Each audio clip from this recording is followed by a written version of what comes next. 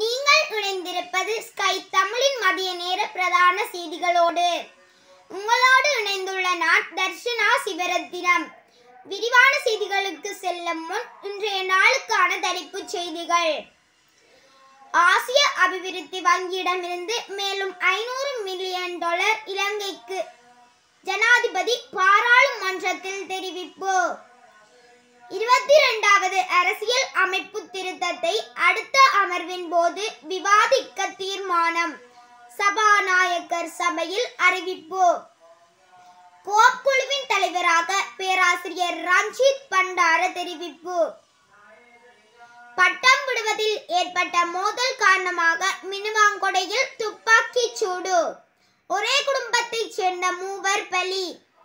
அவை எமது தலைப்புச் செய்திகள். தொடர்வென விரிவான செய்திகள். மேற்கொண்ட வெளிநாட்டு விஜயங்கள் மற்றும் தற்போதைய பொருளாதார நிலை தொடர்பாக ஜனாதிபதி ரணில் விக்ரமசிங்க பாராளுமன்றத்தில் இன்று விசேட உரை நிகழ்த்தினார். நாட்டின் பொருளாதாரமும் நிதி நிலைமையும் தற்போது வளமையான நிலையில் இல்லை என தெரிவித்த ஜனாதிபதி சில அரசியல் கட்சிகளும் பிரிவுகளும் நாடு வளமையான நிலையில் உள்ளதாக கருதி செயற்படுவதாக தெரிவித்தார். எரிபொருள் வரிசை முடிவுக்கு வந்துள்ளதென மாத்திரம் கருத்தில் கொண்டு அவ்வாறு சிந்திக்க முடியாது எனவும் ஜனாதிபதி தெரிவித்தார்.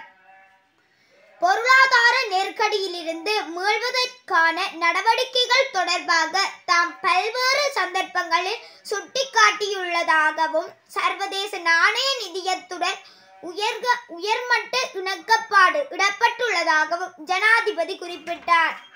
இத்துடன் செய்திகள் யாவும் நிறைவடைகின்றன. மீண்டும் இரவு நேர செய்திகளுடன் சந்திப்போம். நன்றி. உடனுக்குடன் செய்திகளை பெற்றுக்கொள்ள எமது யூடியூப் பக்கத்துடன் இப்போது இணைந்திருங்கள். ஸ்கை தமிழ் தனித்துவமே நமது அடையாளம்.